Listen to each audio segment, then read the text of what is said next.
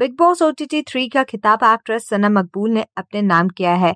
Friday दो अगस्त को हुए Bigg Boss O T T three के ग्रैंड फिनाले में सना मकबूल ने रैपर नेजी को पछाड़ते हुए बाजी मार ली। वहीं तीसरे नंबर पर रहे बॉलीवुड एक्टर रणवीर शौर्य। रणवीर शौर्य को बिग बॉस ओटीटी थ्री जीतने का प्रबल दावेदार भी माना जा रहा था। हालाँकि उन्हें नंबर थ्री से संतुष्टि करना पड़ा। लेकिन क्या आप जानते हैं कि रणवीर शौर्य की Bigg Boss OTT season three की टोटल फ़ीस सना मकबूल की विनिंग प्राइज मनी से 730 परसेंट ज़्यादा है। बिग बॉस ओटीटी थ्री की शुरुआत 21 जून को जियो सिनेमा पर हुई थी। वहीं इसका समापन दो अगस्त को हुआ। इस शो को बॉलीवुड एक्टर अनिल कपूर ने होस्ट किया था। सना मकबूल नेजी रणवीर शौर्य, कृतिका मलिक और साई केतन राव इसके टॉप फाइव फाइनलिस्ट थे। एंड में मुकाबला नेजी और सना के बीच में हुआ था। सना ने नेजी को पछाड़ते हुए बिग बॉस ओटीटी ट्री की चमचमाती ट्रॉफी के साथ 25 लाख रूपए भी जीत लिए। अब बात करें रणवीर शौर्य के एक एपिसोड सहित पूरे सीज़न में मिली टोटल फ़ीस के बारे में तो एक रिपोर्ट के मुताबिक रणवीर शौर्य को बिग बॉस ओटीटी थ्री के लिए एक एपिसोड के लिए चार से पाँच पाँच लाख रुपए फ़ीस मिली थी। वहीं इस शो के टोटल 43 एपिसोड का वो हिस्सा रहे।